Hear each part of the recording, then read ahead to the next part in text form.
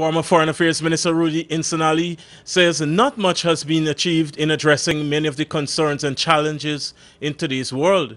He made those remarks at the Pegasus Hotel on Friday where he launched his book called Multilateral Diplomacy for Small States, The Art of Letting Others Have Your Way. The book reflects many of Ambassador Insanally's experiences as a diplomat. He said the world still awaits the results of all the conferences and meetings across the globe. Reform and revitalization are the order of the day. Sadly, however, we have spent more than a decade in debate with precious little to show by way of results.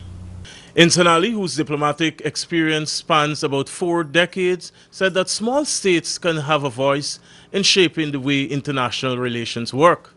Ideas and initiatives, in my view, are not the preserve only of the powerful countries.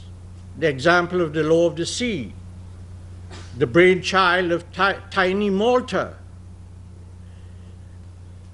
and then you have the International Criminal Court, which was put forward by Trinidad and Tobago, and which was laughed at initially, but today stands in place.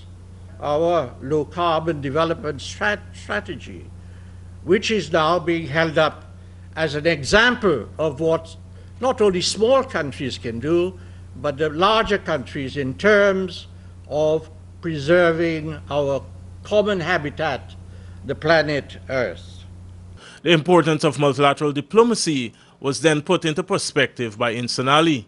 While all states have an interest in preserving multilateralism, it is the small and vulnerable states which have the most to gain from it.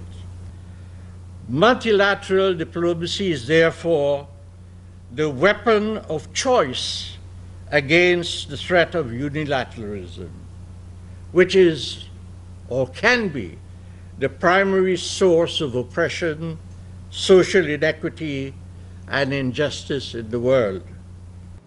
The book launch was attended by members of government, the diplomatic corps, and former colleagues of Insanally, relatives, and friends and the woman who succeeded Insanally as Foreign Affairs Minister, Carolyn Rodrigues Birkett, said that the publication really captures the finer points of diplomacy and will be a valued addition to the library of the ministry. Ambassador, as you launch this book today, from which we all will benefit, I want to assure you that our advocacy will continue. It is not a battle that we can give up though the odds remain heavily stacked against us. And once again, I want to thank you for sharing with us your experiences and indeed your thoughts for a better world. The book will be available at Austin's bookstore, and part of the proceeds from the sales will go towards the funding of prizes for young diplomats. For Capital News, Raul Collins.